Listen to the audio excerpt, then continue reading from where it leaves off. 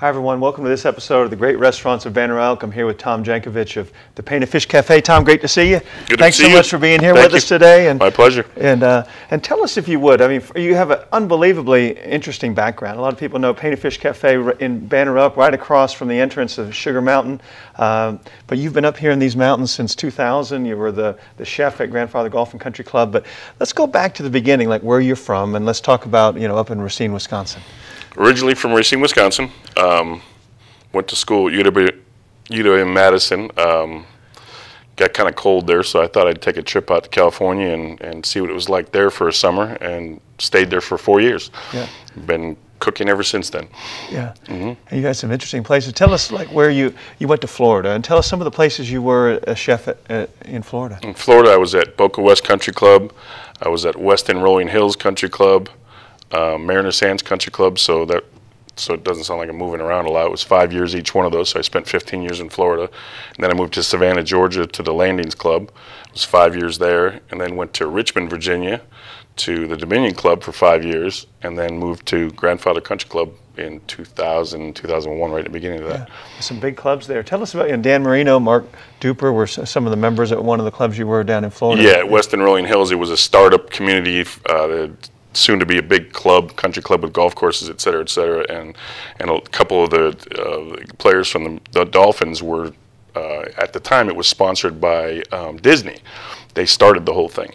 And so um, they brought them in, gave them homes and this, that, and the other as a you know a perk to it, and and it was funny because there was no cable out there, and we had satellite, and so at night sometimes Dan would come over and watch fights, and I'd keep the restaurant open, and we'd watch a fight here and there, so it was kind of fun. So Yeah. it was it was an interesting place. And when you first started out in Boca Raton, you actually were there looking to go on the PGA Tour, weren't you? Yeah, I gave it a shot for two years. Um, It was a lot more difficult than I thought, but it was a sure fun try. So it's one of those things that if you don't try it when it's in your system, you'll be mad at yourself forever. So Yeah. I've always said I was going to make senior tour, but I'm past that now too. So So you were, but you were down there. You'd play golf all day, and Uh-huh. then and then you in the evening you'd be a chef there at Boca Raton. Yeah, I was a sous chef there at Boca West, and yeah, I'd work. I'd play golf six, eight hours every morning until I had to go to work, and then go to work from two to ten, and get up and do it again. Yeah, Mm. well, that's a great life. Yeah, there. it was it was fun at the time. Yeah. Yep. And tell us about the landings in Savannah. That's actually what the biggest private membership. From what I know, it's the largest private country club in the country. It's six thousand plus members. There's eight golf courses and four clubhouses, and it's on its own island, Skidaway Island, in the south of uh, Savannah, Georgia, which is an amazing place. Um, it was a great run there too. Yeah. And then you went up to Richmond, and then, Mm-hmm. as you said, in 2000, 2001, you came down to Grandfather Golf and Country Mm-hmm. Club here in the mountains. And what drew you then to the to the mountains here? Well, first I'd been looking for work or for a different job for about a year, and I turned down several of them because it didn't fit my family because I had young kids, this, that, and the other. And when I came up here and I saw the lifestyle and the way people were and how it was so much different than any place I'd ever been. It was quiet. It was it was it was it was just amazing. And the mountains is where I'm going to live from now on. It's the way it works. Yeah. that's how it works. Yep. You actually offered like a job at Augusta National. You had a chance to go there. You- That was one of them. Yeah. yeah. Uh-huh. And but you really love these mountains. And at the time, your children were fairly young then, weren't Yep, they? they were. Uh, God, if I had to guess, they were uh, two in grade school, one in middle school at the time. So Yeah. they started off going to uh, Banner Elk Elementary and uh, the middle school at Avery. Yeah. And we went from there. Yeah. But they they acclimated pretty quickly, and none of them have left yet, Really? which is pretty neat. Yeah. Yeah. And so you love these mountains now. Oh, yeah, yeah, yeah. Tell us what it was like at Grandfather Golf and Country Club, because a beautiful country club there. It, great place, um, great membership. Um, probably one of the nicest clubs as far as members and, and, and board and all that's concerned that I've ever worked with. And I'd been in club for 20 something years at the time. And the whole idea for there was that it was a relaxed atmosphere. They came for the weekends to enjoy the mountains and, and get away from the things that I got away from too. So it was a great experience. yeah, very beautiful back Oh there. yeah, too. oh yeah, it's a beautiful thing. Yeah. Yeah, that is great. So, but not only did you did you work there as a chef at uh, Grandfather Golf Country Club, but you also uh, taught basketball, coached basketball. Tell us about that. Well, grandfather closes down from January, February, March, and part of April every year, and so I was afforded the time off, which was kind of neat. And um, looking for something to do because I'd never had nothing to do in my whole life. I'd been working all my life, and an opportunity came up. Actually, my daughter asked me if I would coach the team because they were looking for a coach. So I started with the girls team and then did that for two years, and then the boys team for five years from there. And that was a great experience. Is that Valle Crucis? Yes. Yeah, mm-hmm. that is a great. It's a great age group. You have a lot of influence on them. at They're, yeah, right? yeah, and, and they're a different group that age. I gotta tell you, especially boys.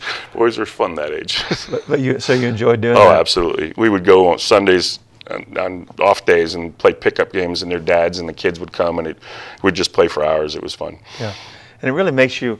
You've become really a part of the community, then, haven't you? I feel the- like it, yeah. Mm-hmm. Yeah, doing all these things and working with the youngsters and, and the families, and then, and a lot of that carried over because I know that when you left Grandfather Golf and Country Club to, to open up the Painted Fish Cafe there in in Banner Elk, there was so much excitement because people knew you so well from Grandfather Golf Country Club, so they knew it was going to be a great restaurant before you even opened. Yeah, I put a little pressure, but I wasn't worried about it. We've, I've been cooking for so long; it's second nature to me now. So, and we just thought that we'd do food that's fun and and uh, affordable at the same time, and we've been doing that ever since. Yeah. Mm-hmm. And tell us, so Painfish Cafe, as I mentioned, was across the str- street from the entrance of uh, Sugar Mountain. So it's perfectly located right there as you drive, as you're heading down, um, you know, from the Tynecastle going toward Banner Elk. It's on your right, you know, Mm-hmm. right there. So it's a, a great location.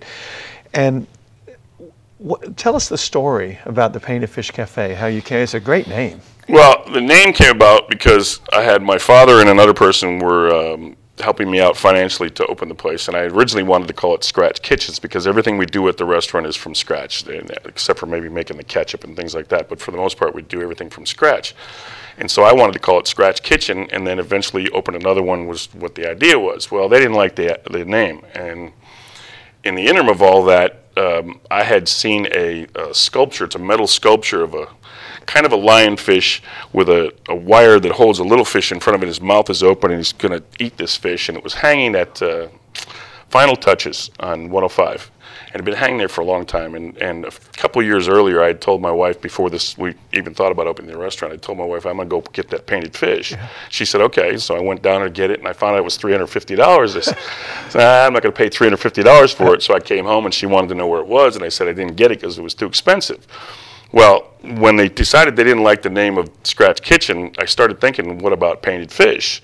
And I could use that as my logo, and, and I'll go buy the thing for the for the restaurant out there.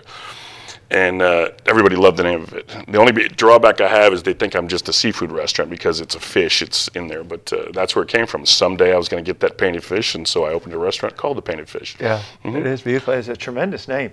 Um, but tell us, you know, because if people do have the, the preconception that you do seafood only, but you do a wide range, you do anything, don't you? Yeah, absolutely. Yeah, we do we do um, fun food with a twist and recognizable food with a twist. We take things like originally on my menu, I had a Cuban sandwich, which was nothing like most Cubans, with the exception of it had the proteins the same. Um, we do uh, something else we'll talk about later is an ahi tuna that's got uh, risotto and wasabi and soy sauce and, and a coleslaw on top of it. And we do, um, oh, it's all kinds of things that are, are recognizable food, and we twist them just a little bit so it's a little bit more fun than the norm. So, Yeah. And so tell us know, the price range and everything, because sometimes people think that it's going to be very expensive, but it's, Sure. it's not, is it? We're- I mean, Mm, 80% of our, 90% of our entrees are under $20. We do a lot of half portion items also. There's, so there's small portions, and that reduces the cost down a little bit, but it also gives you the opportunity to try some other things that are on the menu also. So you're not getting gouged for 50 bucks going out to dinner, and you can try an appetizer, maybe a salad, and a half a portion of an entree, and have a meal that way, and enjoy yourself and not lose the, you know, the bank. yeah. Oh, Yep. yeah. Do tremendous food there. I've been there a number of times, and I know when my parents come up to the mountains all the time, that's They the first all the place they time, want to come. Uh-huh. Yeah, they love to come there. To, And they actually come the day they come up. They come and tell me too. yeah. Oh, yeah. Yep. They do. And uh, but yes, fantastic food. And and what really, you know, your passion. You you love to cook, don't you? You love being a chef. Yeah, it's even on my day off, I cook. Uh, I cook. That's what I do. It's it's. I guess it's the way you show love to people, all those things, and, and it's just, and I'm, I'm fairly decent at it, and I'm quick at it, and I just enjoy it. I love. My favorite thing is to walk past the table, whether it's at my house or, or in the dining room at the restaurant, and not hear anybody talking, and that's my favorite thing. And I'll stop and say, "Hey, nobody's saying anything. It must be good." And that's my favorite part. Yeah. Mhm. Oh, that is, that is. And tell you what, you do a fantastic job there. And tell us, you know, we're gonna we're gonna show you here doing uh, three different um, entrees. That are on the menu, And, yeah. tell us and tell us about these three entrees before we go to the, the footage and, and show you cooking them. Well, the first one is, uh, I don't know if it's going to be the first one, but it's the ahi, uh, sesame seared ahi tuna, and it's just a fantastic dish. All three of these dishes have been on the menu since we opened for four and a half years now. Um, it has a nice creamy risotto on the bottom. It has a wasabi aioli, which takes wasabi and tones it down just a little bit. We do a soy glaze, which gives you that little salt flavor to it, and then a really really rare seared piece of tuna that's very nice. Um, on top of that, and on top of that is a, is a chilled Asian coleslaw. It's got a little sesame, all this, that, and the other. So you have warm and creamy, you got spicy, you got a little salty, you got a nice piece of fish with a little crunch to it, and it's just an awesome dish. Yeah. Yeah. I've had two or three people so far say that was the best dish they've ever had, and it's the perfect meal. So I like that one. Yeah, I Mm-hmm. can tell from your description there. I mean, you really have thought this out, haven't you? Because you've got such a, a variance of combinations there to make it bring all the elements in that Absolutely, yeah. Everything we do, we, we think it out. You know, sometimes we get a little bit by the fly, but you know, come up with something on the at the at the last minute. But for the most part, everything's thought out. And I guess over the years, most of it just comes second nature to me now. So I, I know what's supposed to work and what doesn't work with things. So. It must take a long time to prepare because I know you go in early in the morning and work, you know, get everything, getting Mhm. the sauces ready, getting the everything. So it takes a, a long time to get all the, the different things together. It, it's it's just a matter of organization. That's all it really is. And then once it's time to go, everything is what we call as mise en place. It's all the things you need to create the dishes are right in front of us, and and you'll see in the in the in the clip that it's pretty quick and easy once you have everything ready to go in front of you. So. yeah. And tell us about the scallops dish you're going to make. Honey curried scallops. Um, originally, it was a shrimp dish a long time ago that I made for my family. Um, now it's it's one of the number one sellers on our menu. Uh, the biggest thing about our scallop dish is we use what's called a dry pack scallop. A lot of times you'll go to the store, you'll see scallops and they're sitting in this blue water that's it's a phosphorus or something of that nature. I don't even know what it is, but I don't want to because I don't want to have anything to do with it. These are fresh shucked and they come in a burlap sack inside of a can, and so they're they're they're dry. None of the juices have come out. They're very sweet and really beautifully pungent. And what we do is we really sear them off hard on one side so they get a caramelization onto it, flip it over, and then pop it in the oven. And then we serve that again with risotto, which is kind of redundant, but we, a few dishes have that on it, with sauteed spinach on top. And then we take a um, honey, curry, and lemon juice and bring it to a boil together, and it becomes this glaze, and we'll drizzle that over the top of it, and then top it with a combination of toasted peanuts, coconut, and curry powder that we grind up into little crunchies, and we sprinkle those around the top of it. It's just a phenomenal dish. Yeah. Mhm. It, It is. really is. Sounds tremendous. And then you're going to do one too, a chicken, a bacon chicken. Yeah, this one, um, the sauce that goes on this dish, you can put on anything. I've had people say they'd put it on ice cream. Um, my kids, originally, the sauce was a dressing for a warm spinach salad. Back in the day, they used to always, everybody served a warm spinach salad with a bacon dressing, and that's basically what this is. Um, we sear off a piece of chicken. It comes with grits and julienne vegetables, which the julienne vegetables on the dish, if you want your kids to eat vegetables, make these because they'll eat them. They, actually my daughters will just eat that plain now by itself and then it's, it's coated with this wonderful bacon dijon brown sugar glaze that goes on top of it Yeah. Mm-hmm. So it sounds exciting. I tell you what, we're going to go now and let you watch Tom as he as he prepares and and uh, these three entrees. You have honey curried scallops, uh, you have bacon chicken, and you have sesame tuna. And so it's going to be very exciting here. And let's watch. And, and uh, Tom is fantastic at this. So enjoy seeing how he does this and makes it look far easier than it is. no because- it really is easy but uh, let's go to the go now and we'll watch Tom do that.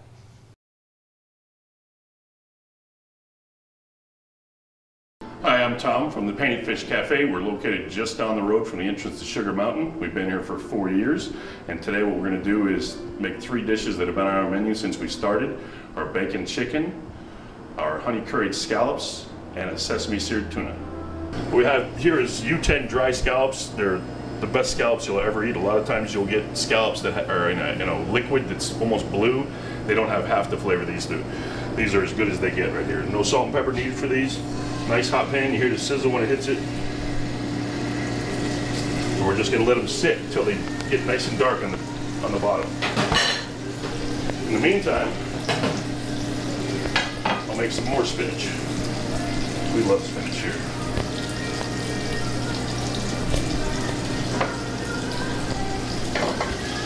If you notice, we have uh, colored tongs for allergies. So red always goes for scallops. We have a yellow one for shrimp, anything like that could be an allergy to someone. We don't want to have the same pair of tongs touching chicken, whatever, onto it. So different colored ones for different moves. Just gonna loosen them on the bottom of the pan. Let them brown. That'll take about two or three minutes.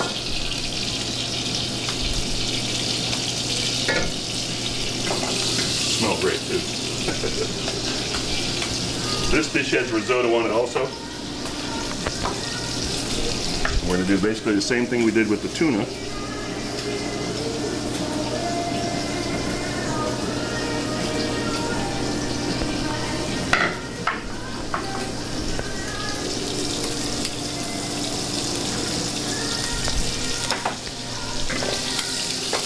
As you'll see, they're starting to brown slightly on the edges. So we're looking for a nice caramelization on it.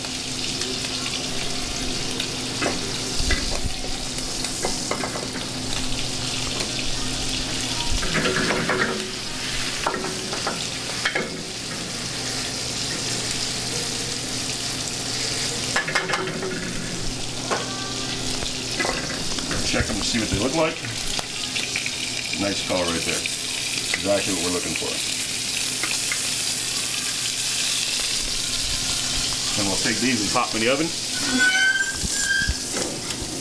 for about three minutes and they're done. We're gonna do magic of television in a second. Pull that out early, okay?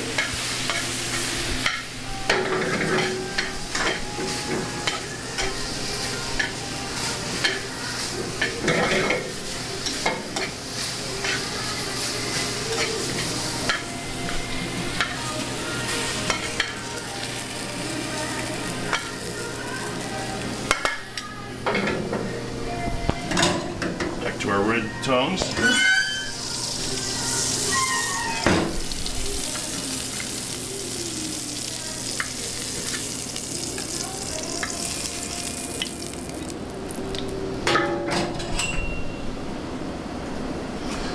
Then what we have is our curry glaze. And all it is is lemon juice, curry powder, and honey. And it's local honey from here. Um, different sources, but all local honey.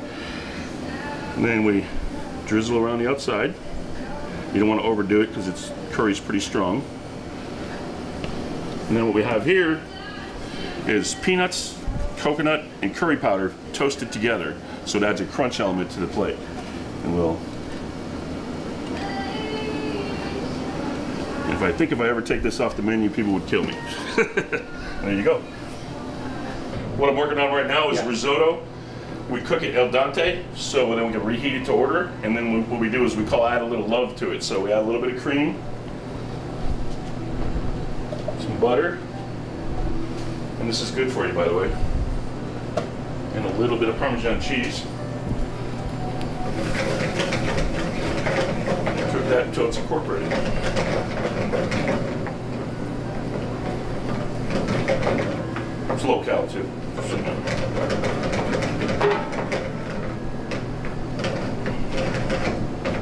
Alright. That's good. Then I'm gonna grab a piece of tuna. This is one of our most famous dishes. We've had on the menu since we started. I have a nice piece of ahi tuna. We're gonna salt and pepper. And then we're gonna dip it into our sesame seeds. So we have a nice crust on it. Put it on my flat top griddle with just a little bit of clarified butter, which is butter with all the fat cooked out of it. Let it sear. And while that's cooking, I'm gonna get the plate ready. And what we have is soy sauce that's been thickened. So it'll stay where we put it. And wasabi aioli, basically a wasabi mayonnaise, just so it's not so spicy and it's creamy.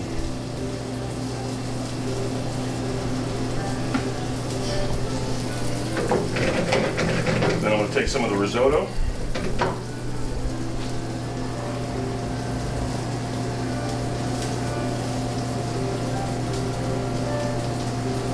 I've had someone tell me this is a perfect meal, so I like it. now I'm gonna cook some spinach, again with the clarified butter hot pan.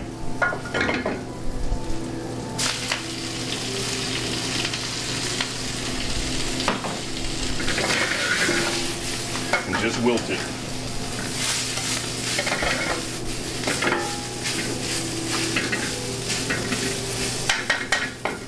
A little bit of salt pepper again, not too much.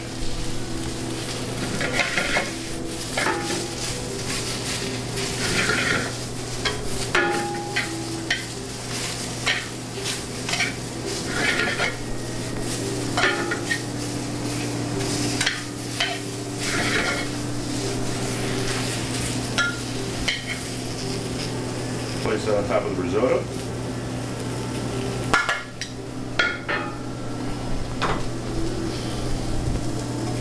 And I'm gonna flip my tuna, stay on the sesame side. I'm gonna flip it over. We serve this rare. Now it's gonna come off the grill. Go to my cutting board. All right, and then we're gonna cut it on an extreme bias so we can show off the nice color inside. Place it on the plate. Then I have what we call an Asian coleslaw. It's made with sesame oil, soy, cabbage, red peppers, and that goes on top. There you have it. It's a great dish because you have every element into it. You have salty from the soy, a little spice from the wasabi, creaminess from the risotto. The spinach is, of course, wonderful. Everybody loves spinach when it's cooked right. Tuna's got a little crunch from the sesames on top, and then on top there's a nice chilled element of the dish that kind of gives you a difference between hot and cold, and it changes textures for you at the same time. It's one of our most popular dishes. Been on the menu since we've been open four years ago. This is called bacon chicken, and it's another famous dish that's been on the menu since we started. I'm gonna put it in my hot pan and let it brown a little bit more. If I get a sizzle out of it, that'd be great.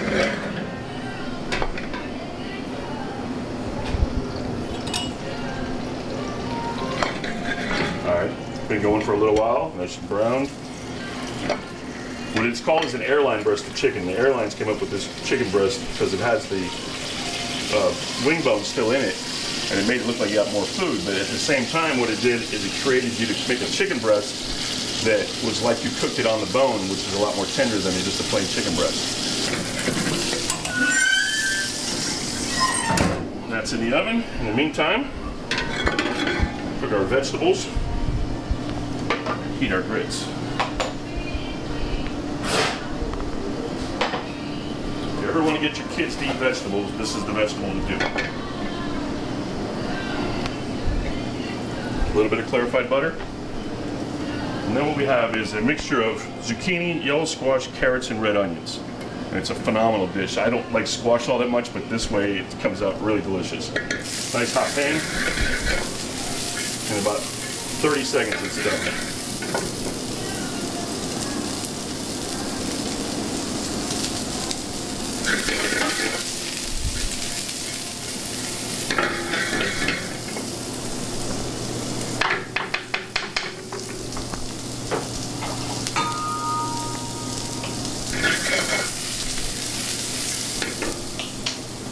What we have here is yellow grits from Anson Mills, which are the best grits in the whole world. A little bit of cheese. So that's going to come over here and go on the plate.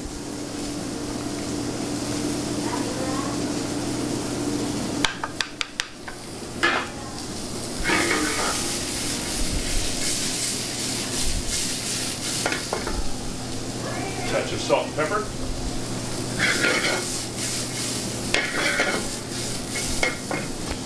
And we'll pull our chicken out.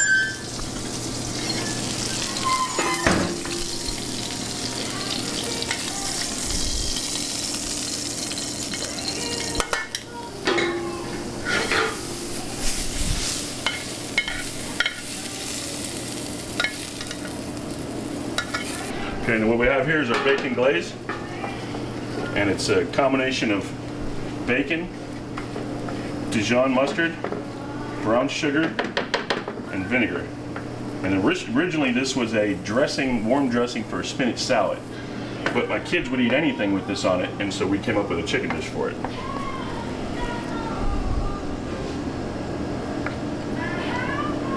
There you go, bacon chicken. Right here we have our sesame seared tuna with wasabi aioli, soy sauce, spinach, risotto, and an Asian slaw. This one here is our curry scallops. Again, risotto and spinach with a honey curry scallop, or honey curry sauce on top, and some coconut crunchies is what we call them. It's peanuts, coconut, and curry blended together and toasted. Then our most famous one is the bacon chicken. Uh, it's a pan-seared, really delicious breast of chicken with Anson Mills grits, our julienne vegetables, and a it's a sweet and sour baking glaze that goes on it. So I tell you, that was fantastic. You really are something. You could have your own television show in terms of preparing the way the way you're so good at at the demonstrating and talking and doing it all at the same time. Well, let's do it. we'll put one on MTN. Yeah, but I mean, but that was really interesting, and, and how you put all those elements together in each one of those dishes, and and brought it, and it looked beautiful too. All of them looked really beautiful whenever you. you. had them finished. Yeah. Well, that's that's one thing I tell all my cooks that I've worked with all my life is that first make it taste good, then you can figure out how to make it look nice. Because if it tastes good, it, it'll come together that way, and it, Yeah. and it usually does. And one of the things I think you've come up with a tremendous idea. You were telling me about it the other day. Um, how you're going to have pre-made meals, you know, eh, for the for the during the ski season for the people that come up, and tell us about that because that's a fantastic idea. You know, I noticed over the last couple of years of going into the grocery stores over the winter that people are in there buying everything they need for all their meals for the weekend, and then they got to go skiing and come home and cook all this stuff. And so my idea is, and we'll have the menus coming out in the next week or so, um, is that we'll prepare meals that all you have to do is heat and serve. That literally will only cost you about 20% more than if you went to the grocery store and bought everything you had to have into there. So this will limit them. You go buy your beverages and the little things you want on the snacks and whatnot not on the side and you can have these meals put in your condos before you even walk in the door. They'll be in your refrigerator and it's ready to rock and roll. All you have to do is just follow the instructions, either oven or microwave or whatever stovetop heat.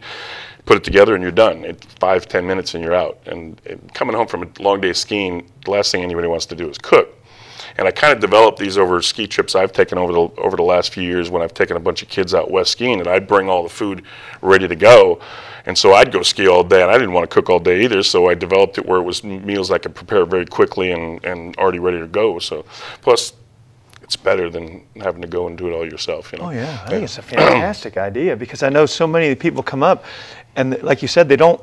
If you go out to the grocery store, you end up spending far more money than you for for two days, you know, because you need so many things, but you're not going to use it. And half of it either sits there, you got to pack it up and take it home, and then yeah, it goes and- bad on the way so home. it ends up you, you spend a lot of money, and you really end up wasting most of it anyway. Right, and exactly. and then people a lot of times, you know, don't want to have go out and get dressed up and go out to the restaurants Right. and stuff. Right. And here you have an opportunity, like you said, coming in whether you're a skier or whether you're not a skier. I mean, I, I know a lot of people who don't ski who would absolutely love to do that. Well, that's the hopes. Um, ten, uh, uh, what's the word? I mean, historically, this, the winter time is much slower for us, and so started thinking about what we can do and to create some more revenues for ourselves, et cetera, et cetera, and make things better for everyone. And so far, everyone I've spoken with is very excited about it. So it'll be on our website probably before the end of the month. Yeah. It'll be on there, all the all the stuff that's available, all the logistics to it, that kind of thing. Yeah. Mm-hmm. So your website there, paintedfishcafe.com. Uh, dot com. so you know, go to that and to see it. And I think I even think a lot of people that maybe even live up here would, would like the opportunity to do so. that. We're hoping Yeah. so. You think it might end up being something you do year round down the road? It's possible. It- we would have to get another facility if we did that because in the summertime we're just so busy. The size of our, our kitchen and the, and the facility we have, it's it's hard enough just to maintain the, the people that are coming into our, our din, dining room. So, um, but yes, uh, we've catered a lot too. We've done some you know parties in this outside of the, the restaurant and inside the restaurant too. But it really puts a strain on the restaurant itself, and I don't want to. I don't want to hurt the restaurant by trying to do that. So Yeah. it, it's very possible, yeah. And so tell us about your catering, if you would, if anybody's interested in in, in In the wintertime, uh, the, the, the facility's open Sunday nights, Monday and Tuesdays. It's wide open. You can use the restaurant. Um, we've done small parties within our restaurant while we were doing a la carte stuff at the same time. And we've also done takeout things where people can order fried chicken, which is one of our most famous dishes at the restaurant. We've run every Wednesday night, by the way. Um, they'll call and, and say, you know, three days out and say, we want, you know, 200 pieces of chicken and mashed potatoes and green beans and whatnot goes with it. We'll have it ready for them. And then we've also done a few weddings and a couple of rehearsal dinners off premise, gone to a few of the uh, venues in the area, you know, and brought food to it and brought chefs with it. We're also going to offer uh, in-home chefs where you can um, you can say I have eight people at my house and we want a nice meal. We plan the meal out for you and we'll prepare the food at the restaurant, bring it to you, and a chef will actually cook it in your restaurant. Not myself necessarily, but I have a little network of guys that can, guys and girls that will uh, they're very very willing to do these kind of things, and they'll come in, they'll cook, they'll serve, they'll clean, and they'll walk away, and you'll have a great meal, and you don't have to do Golly. anything. Well, that's so, tremendous. Yeah, it, it, it, we hope it'll start off slow so we don't get out, you know, to a point where we can't handle it and we disappoint anyone. And if it gets to where we want it to be, then we're going to look for a new facility to do that uh, outside stuff. Have some fantastic ideas there. They're really going to be Yeah, I hope so. very valuable. Yep. So tell us about in the wintertime. As you mentioned there, if somebody wanted, uh, the, you know, to be in the restaurant and actually have the restaurant, you know, for for an event. You said Sunday night during the wintertime, Sunday nights or Monday or Tuesday. Yep. Tell us your hours now uh, during the wintertime. During the wintertime, we're open Wednesday through Saturday from 5 to 9 for dinner, and then Friday and Saturday, 11 to 2 for lunch, and then Sunday for brunch from 11 to 2. And brunch is a fun thing. You should come to Yeah, brunch. tell us about brunch because a lot of people might like Brunch, uh, it's not your normal brunch. We have things like pasta for breakfast, um, breakfast tacos we have as a special now and then. Um, I have a sweet potato waffle with bananas Foster sauce on it that's actually gluten free, which it started out not being gluten free, and I kind of played with it a little bit, and it came out better being gluten free than it was with gluten into it. Um, we do a hi- high country Benedict where we use uh, Goodnight Brothers ham that's made right here in Boone, um, shaved on a biscuit with a egg and hollandaise on top of it. It's just an awesome little Benedict to it. Um, omelets, uh, tater tots, truffle fries. We do all kinds of fun things for brunch. So it's all a la carte too. I tell you what, it amazes me when I listen to Tom talk there because you, you, you just say these things that are like that are very fancy to to a person like me, very fancy Mm-hmm. restaurant things, and but it's just like common thing. You know, to you, it's just something that you do every day type thing. Right, and you'll go to some places where it'll cost you an arm and a leg to do those things. And we kind of like the, like the whole concept of the restaurant to start with was we were going to have great beers because we have a great beer bar, um, and do really fun food that's affordable, that's not outrageous. I've always hated going out to dinner and spending fifty dollars a person and then being disappointed in what I ate. I'd rather you come in and spend thirty bucks a person and say that was great, I'm coming back, and that's what we're looking for. And over the years, we've kind of grown, gotten bigger and bigger and bigger. It's it's been fun. And tell us if you would, for the viewers who don't know, you, your bar area there because that's beautiful, right? It's, uh, I think we have 11 seats at the bar, two TVs up there. We don't run the sound onto it, have sports on it all the time. We have uh, 10 beers on tap. Two of them you'd recognize, and the other eight are usually either local or something off the wall, um, but all um, microbrews, all of them. And then we have 19 other beers in bottles and cans. And it's, it's fun. Yeah. Originally, we didn't have alcohol, um, but I, a lot of people were not coming because they needed to have that. I don't know if that's relevant to anything. Yeah. But we carry one of each thing: one vodka, one gin, one. And we're not trying to be a bar. We're trying to be a beer and wine and good food place. But we have alcohol available also. Yeah, Mm-hmm. Tell you, tremendous place there. Painted Fish Cafe, right across from the entrance to Sugar Mountain uh, ski resort there, and and Tom Jankovic, you've done a fantastic job for so many years. Everybody knows you up in this area because you were the uh, the chef at Grandfather Golf and Country Club for 10 years, the longest serving chef in the history of Grandfather Golf and Country Club. And then you've opened your own restaurant in two, April of 2011, doing fantastic. You have the bar there next to it. You have all, all these wonderful uh, entrees, and we saw you make three of them. But they're you know all reasonably priced and just fantastic. And it's a pleasure to have you here with us because you do a you. wonderful Appreciate job, and uh, you really are something special for, for our community. And I think the ideas you have with the prepackaged meals and with the you know with going sending someone there to their house to cook it also if they if they choose and and all the the catering opportunities that you offer, you really have some fantastic ideas. And I, we wish you all the best. Thank you. Appreciate it. Thanks. Tom Jankovic, uh, Painted Fish Cafe. Thanks for watching another episode of Great Restaurants of Banner Elk. We'll be back with more of the Mountain Television Network.